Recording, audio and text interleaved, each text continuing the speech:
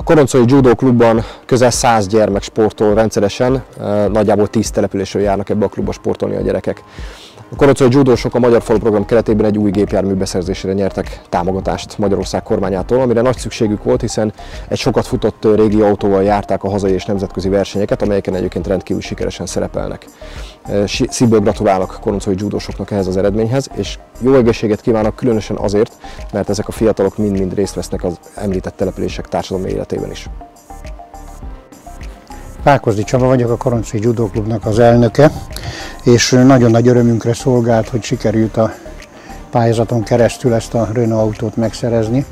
Nagyon sokat járunk külföldre, hosszú utakra, egy régi Renault busszal jártunk, hogy 400 ezer kilométer van,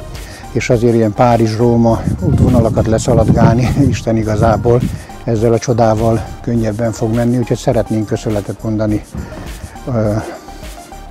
a kormánynak, hogy ezt a pályázatot kiírta, lehetővé tette, hogy indulhassunk rajta, és hát az egy külön szerencsé, hogy sikerült nyernünk is, és most egy olyan járművel rendelkezünk, ami igazából képviseli a sportágunkat, képviseli az ország színvonalát, tehát valamilyen szinten tudjuk reklámozni magunkat is, és azért Magyarországot is.